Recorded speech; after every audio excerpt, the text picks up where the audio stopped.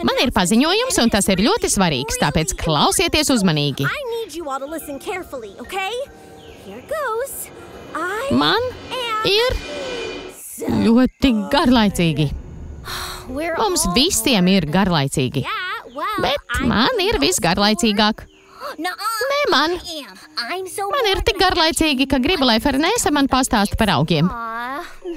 Tas ir, tas ir kompliments vai apvainojums? Abi. Mums jāizdomā jauna nodarbe. Esam peldējuši ar haizivīm, sacentušies ar dinozauriem un dejojām ar pērtiķiem. Mums vajadzēja uzvarēt. Tie pērtiķi krāpās. Sleit. Zinu, ka viņi uzvarēja godīgā ceļā. Viņu kustības bija lieliskas.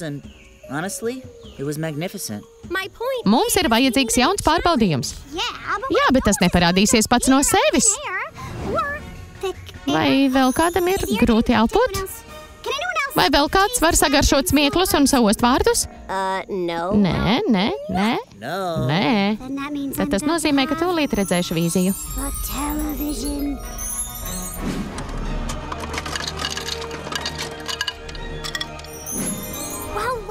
Ko tu redzēji?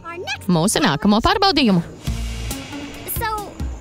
Pagaidi, tātad nākotnē cilvēki bēr sev virsū ledu?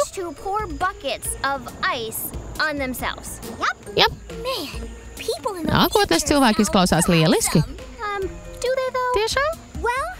Mēs esam alas bērni un neļausim nākotnes cilvēkiem mūs pārspēt. Viņi sev uz galvas bēr ledu, tāpēc mēs slēgsim ledainā upē. Jā, kurš uzvar šajā pārbaudījumā? Nākotnes cilvēki to darīs, lai popularizētu. Nezinu, ko, bet zinu, ka tam bija labs mērķis. Es jau teicu, ka nākotnes cilvēki ir lieliski. Kāds ir mūsu mērķis? Mēs to darām, jo mums ir garlaicīgi. Ko mēs darīsim? Noskaidrosim, kurš var visilgāk palikt augstajā ūdenī. Saņemsim papildu punktus, ja ielieksim upē, darot kaut ko interesantu. Labi, jā, jā. Man to nemaz nevajadzēja dzirdēt, lai piekristu. Jūtos tik brīva, tik dzīva, tik augsti. Kā tas bija? Mani zobi nevar beigt klabēt. Es arī gribu klabošus zobus. Mani zobi ir ļoti slinki, tie visu dienu sēž man mutē. Mana kārta.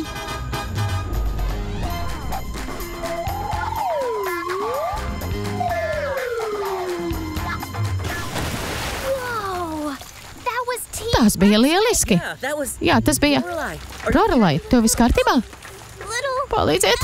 Tūlīt! Tūlīt! Kļūšu par dinozauru saldējumu! Oh, oh no, wait. I'm fine. Nē, man viss ir labi. Tā ir man palīdz. Thank you, Prince. Paldies, tev ir lieliska laika izjūta un skaisti mati. And great hair. I don't like to. Man nepatīk lielīties. Taisnība, tev ļoti patīk lielīties. Jā, vērojiet grāciju, Watch the grace. Watch. vērojiet majestātiskumu, Watch. vērojiet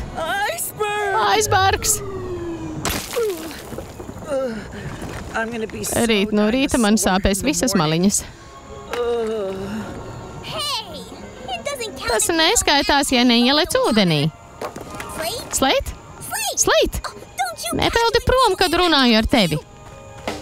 Okay, well, jumping. Šī nebija pārāk laba ideja.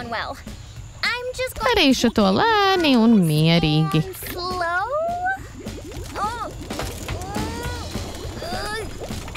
Nevaru pakustēties. Man kaut kas kutina manas pēdas. Tā ir laba kutināšana vai bailīga kutināšana. Tā kā nezinu, kas tas ir, bailīga kutināšana palīgā.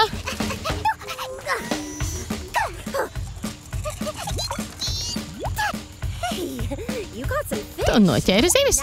Lieliski. Man labāk patika garlaikoties. Tava kārta tela. Um, Nē, paldies. besides, I Turklāt redzēju vīziju ar jaunu pārbaudījumu, ko darīs nākotnes cilvēki. Bet mēs varam to darīt ar mūsu mājdzīvniekiem. Izliksimies par dēļiem. pet planking. Well, this is Šis ir daudz labāk par lēkšanu augstā upē. Jā, mana mugura ir silta un slapja. Kāpēc mana mugura ir silta un slapja? Come on! Slēj!